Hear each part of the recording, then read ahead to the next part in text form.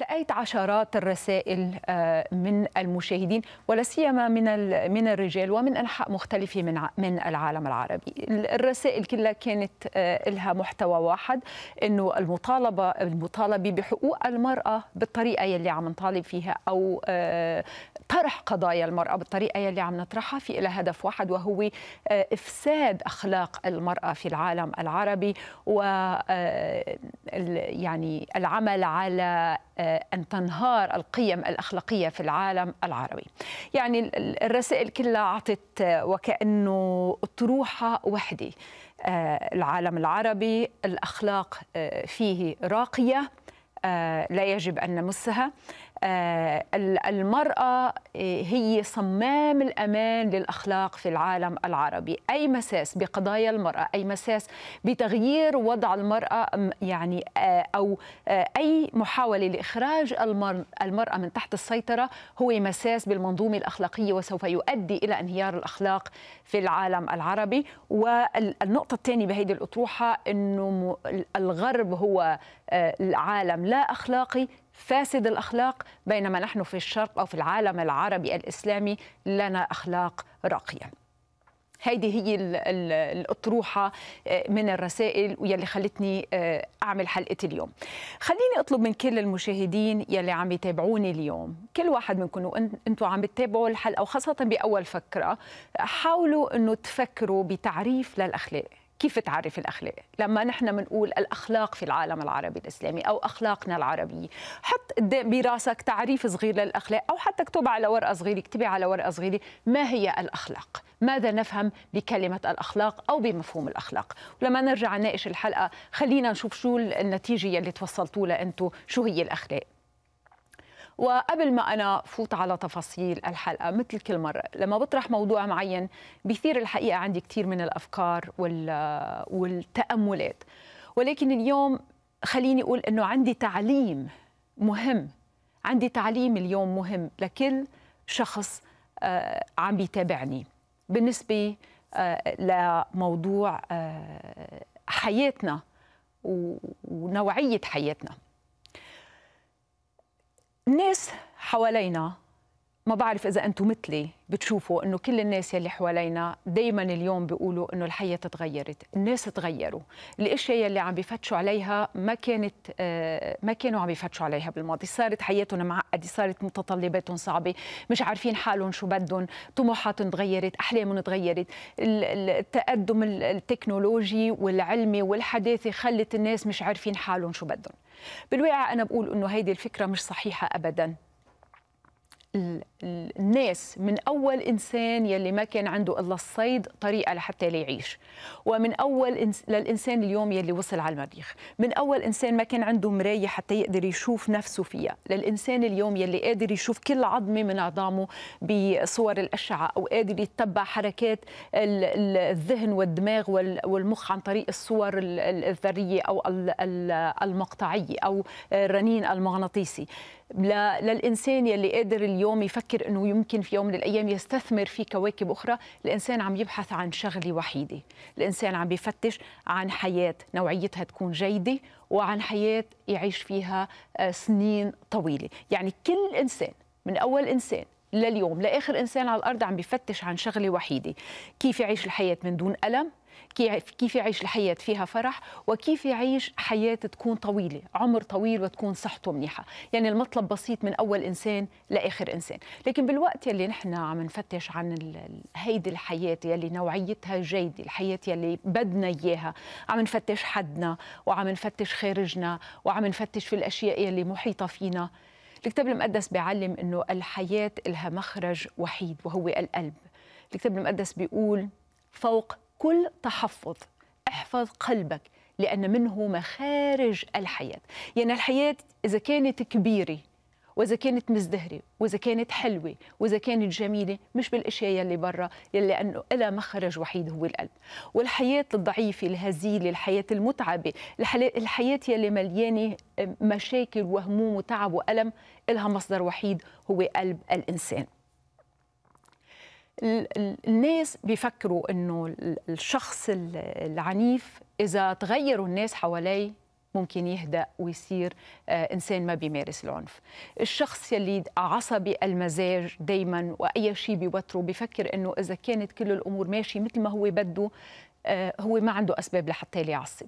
الشخص يلي بيخون بفكر إنه لو أنا توفرت لي بالبيت كل الاشياء عند زوجتي أو عند زوجي ما كنت ما كنت بفتش عليها عند شخص آخر أو بمكان آخر. ولكن الحقيقة مش هيدي هي. الحقيقة بدك تفتش شو هو الشيء اللي بقلبك يلي بخليك دائما متوتر؟ شو هو الشيء اللي بقلبك يلي بخليك دائما عندك استعداد تمارس العنف؟ شو هو الشيء بقلبك يلي بخليك مش قادر تضبط شهواتك؟ ودائما بتلاقي وسيلة لحتى اللي تشبع الشهوات سواء كانت وسيلة شرعية أو وسيلة غير شرعية. الآية اللي قلناها فوق كل تحفظ احفظ قلبك لأن منه مخارج الحياة. بعتقد أنا فيها ثلاث كلمات هن أهم ثلاث كلمات بحياتنا. تحفظ احفظ قلبك الحياة. احفظ قلبك الحياة. والعالم كله تنبه لأهمية هيدي المعادلة احفظ الحياة ولكن أسقط منها كلمة القلب. فبنشوف اليوم الإعلانات يلي بتخلينا نركض وراها الأشياء يلي بتخلينا ننجذب لها الكتب يلي بتخلينا ننجذب لها كيف تحافظ على بشرتك؟ كيف تحافظين على رشاقتك؟ كيف تحافظ على زواج سعيد؟ كيف تحتفظ بصحتك؟ كيف تحافظ على عافية قلبك؟ بس نشوف الكلمة تحتفظ تحافظ بنعرف إنه هيدا الشيء بهمنا بنركض وراها ولأنه عم نفتش عن ديمومة الحياة وعم نفتش عن الحياة الأفضل. ولكن كل هيدي الأشياء يلي عم تعلمنا كيف نحافظ عم تعلمنا نحافظ على الأشياء يلي فعلا منا مصدر الحياة. يعني الفتاة اليوم مستعدة تعمل أي شيء تتحافظ على جسدها ولكن آه، ولا مرة في التفات قديش مهم إنه نحافظ على طهارة القلب. الرجل عم بيفتش على كل الطرق يلي بتساعده إنه يحافظ على مركزه وظيفته ثروته ولكن ما عنده استعداد يفكر كيف يحافظ على نزاهة قلبه. الناس كلهم عم يفتشوا عن الزواج السعيد. كيف تحافظ على زواج سعيد؟ ولكن ما حدا عم يفتش إنه الزواج السعيد هو إنك زواج قلبين بيعرفوا كيف يحافظوا على فضيلة الغفران. الزواج السعيد هو قلبين بيعرفوا يغفروا. الأشياء اللي عم يعطينا إياها العالم تنحافظ على نوعية الحياة. لما القلب بيوقع منها كل نوعية الحياة ما رح تكون جيدة. خليني أوقف عند نقطة احفظ. فوق كل تحفظ احفظ قلبك. كلمة احفظ يعني هي إنك تحرس بشكل مشدد تعمل حراسة مشددة. والتعمل حراسة مشددة في إلها آه، هدفين. أما إنك تحمي الشغلة أنت بتحرس الشغله لحتى تحميها أما بتحرسها لحتى تسيطر عليها لأنه بتشكل خطر. وهودي المعنيين صحيحين جدا في عملية المحافظة على القلب. أول شيء أنك تحمي قلبك ثاني شيء أنه تعمل حراسة على قلبك لحتى تسيطر عليه لأنه هو مصدر خطر لحياتك. اليوم رح أحكي بس عن حماية القلب. وأترك ال ال ال الكلام عن السيطرة على القلب آه، لحلقة ثانية بموضوع حماية القلب. آه خليني أقول إنه حماية القلب في إلها هدفين أو في إلها طريقتين لحتى لتحمي قلبك. الطريقة الأولى إنه تنظف قلبك والطريقة الثانية إنه تستثمر يلي بقلبك. فقبل ما تحمي قلبك وتحافظ عليه لازم تعرف تكون واثق إنه يلي بقلبك أنت بدك يضل بقلبك. يلي بقلبك هو شيء صالح للحياة. يلي بقلبك هو لازم تحتفظ فيه. مرات كثير في ناس بحطوا أهداف لحياتهم ولكن ما بيقدروا يوصلوا لأهدافهم. مرات كثير في ناس بيقولوا أنا بدي أتغير ولكن بيعملوا كل الطرق وما بيقدروا يتغيروا. ليش؟ لأنه القلب من جوا في رواسب بعد موجودة فيه. يا إما من طفولتنا يا إما من الظروف يلي تعرضنا لها يا إما من طريقة تعامل الناس معنا يا إما من تجارب قاسية مرقنا فيها. وهيدي الأشياء كلها ترسبت بالقلب وبعدها موجودة بالقلب. وشو هيدي الأشياء كلها بتسكر مخارج الحياة بالقلب. فلما الإنسان بيحاول يعيش حياة كبيرة حياة مزدهرة حياة فيها نجاح نشوف إنه طريق القلب مسكرة قدام الحياة والحياة بعدها مسجونة خلف هيدي الترسبات يلي صارت بالقلب. خليني أرجع آه لقصة من الكتاب المقدس آه يشوع بن نون لما مات موسى وكان عليه أنه يقود الشعب اليهودي إلى آه أرض الموعد بيقول يشوع بن نون طبعا مثل ما بنشوف إنه هو ما كان مستعد إنه يقود الشعب اليهودي. يمكن كان عنده خوف إنه قيادة شعب كبير هي شغلة كثير كبيرة. إنك تكون قائد هي شغلة كثير مخيفة. حتى إنك تكون قائد لعائلتك هي شغلة كثير كبيرة ومخيفة وبتحط عليك مسؤوليات. يمكن كان مع موسى في الصحراء وعرف قديش القيادة في الصحراء هي عملية صعبة. يمكن ظروفك اليوم هي صحراء. صعبة. وعارف إنه تقود حياتك بهيدي الصحراء أمر كثير صعب. كان عارف إنه إنك تخلي الناس يحترموك إنك تخلي الناس يوثقوا برأيك إنك تخلي الناس يقدروا كلمتك هيدي شغلة كثير صعبة. فما كان عنده هالاستعداد إنه يكون القائد ويبدأ يقود حياته. ولكن الله شو قال له ليشوع؟ قال له كما كنت مع موسى أكون معك لا أتركك لا أهملك. يعني اليوم لما تطلع بحياة غيرك وتشوفها حياة كبيرة وحياة مزدهرة وكل الثمر يلي فيها فيها ثمر نجاح فيها ثمر حب فيها ثمر سلام. الأولاد بالبيت عايشين حياة حلوة. كل الأشياء بالبيت مرتبة. بتقول أنت جاري الله مباركه بس أنا ما في عندي بركة. الحظ عند جاري بس أنا ما عندي حظ. ولكن مش هيدي كلمة الله. كما كنت مع موسى أكون معك. كما كنت مع جارك أكون معك. مثل البركة اللي حضرتها لجارك في إلك بركة. مثل البركة اللي حضرتها لصديقتك في إلك بركة. مثل البركة اللي أعطيتها لخيك أو لأختك في إلك بركة. الله في عنده بركة لكل إنسان. مجرد ما ناخد القرار أنه نبدأ نتعامل مع قلبنا مع كل الرواسب يلي بقلوبنا الله محضر بركة. ولكن العبرة وين؟ العبرة في أنه نتجرأ ونقطع الغصن اليابس لحتى يطلع مكانه غصن جديد النقطة الثانية المهمة كثير بعملية تنظيف القلب يلي هي آه كمان الله أعطاها ليشوع وقال له لا يبرح سفر هذه الشريعة من فمك بل تلهج به نهارا وليلا وتتحفظ لتعمل كل ما هو مكتوب فيه. لما تكون نحن بقلوبنا في رواسب من الماضي نحن قدام خيارين. إما خيار أنه نضلنا نكرر الكلمات وذكريات الأفعال يلي تعرضنا لها السلبية يلي أذتنا يلي تركت بقلبنا أذية. أما نحن قدام خيار تاني أنه نمسك كلمة الله ونكرر الكلمات يلي فيها مواعيد الخير يلي فيها وناخدها ونآمن فيها ونصدقها ونعمل فيها بحياتنا. أما أنه أنا بضل كرر الأسطواني آه أمي قالت لي ولا بيوم من الأيام رح تقدري تكوني أنت إنسانة ناجحة بالحياة. الطريقة يلي كسرني فيها بيي ضربني آه، حطم شخصيتي خلاني أحس أنه أنا صغير خلاني أحس أنه أنا قليل بين الناس. هيدي الذكريات مش ممكن تفارق. قلبي دايما بتخليني أحس أنه أنا صغير بمشي بين الناس بين الناس وشاعر أنه أنا كتير صغير. يا أما أنت بتقرر تحتفظ بهيدي الذكريات والكلمات يا أما بتاخد كلمة الله وبتقرأ من كلمة الله. محبة أبدية أحببتك فأدمت لك الرحمة.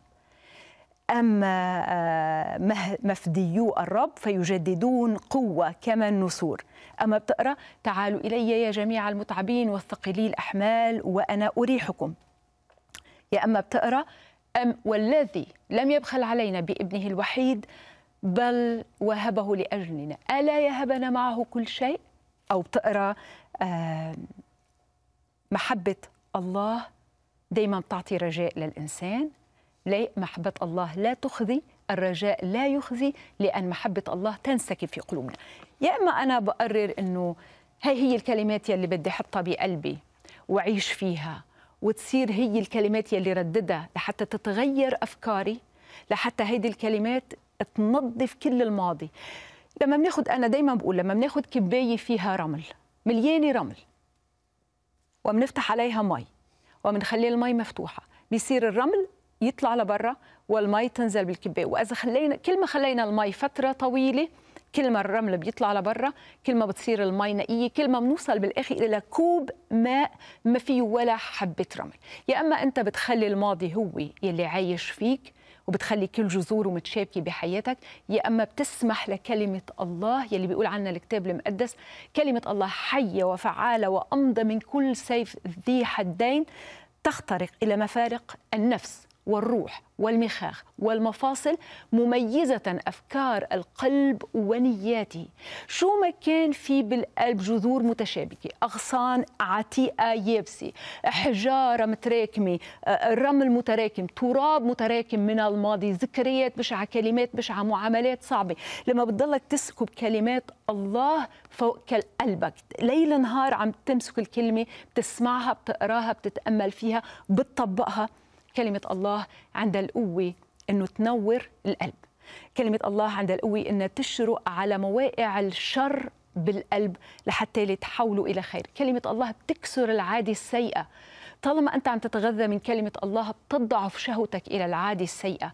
كلمة الله لما بتدخل على القلب بتحول كل النوايا السيئة في القلب إلى رغبة في الخير وبتخليه يبلش القلب يشعر بالمحبة ويشعر بقيمة الصداقة ويشعر بقيمة الطهارة. فبيبلش القلب يختبر الأشياء الجديدة اللي هي من طبيعة الله وبيبلش يفتح الطريق أمام هيدي الطبيعة الجديدة تتدفق منه إلى الخارج فبتتدفق الحياة بشكل أكبر وبتتدفق الحياة بشكل أنظف وبتصير الحياة يلي بدنا إياها هي الحياة يلي بتخلينا نكون فرحانين فيها.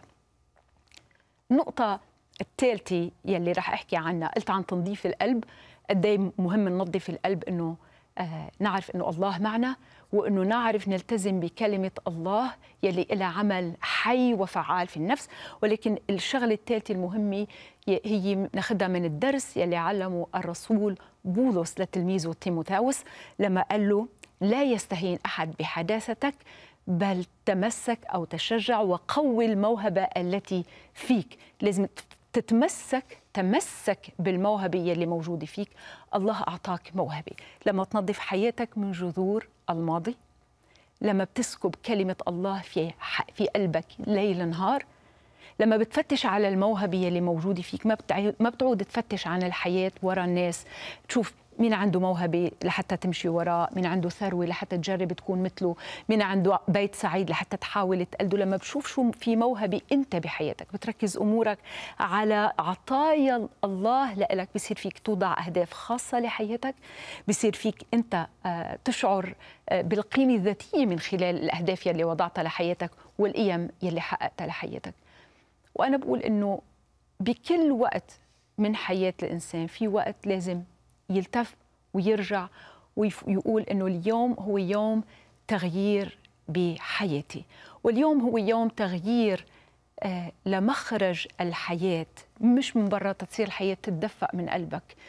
آه صلاتي إنه الرب يشتغل اليوم بحياتك من خلال نظرة ترجع تلاقيها على داخلك وتوقف لبعض الوقت إنك تطلع على كل الأشياء اللي حواليك لحتى ترجع الحياة تتدفق منك أنت لكل الناس اللي حواليك.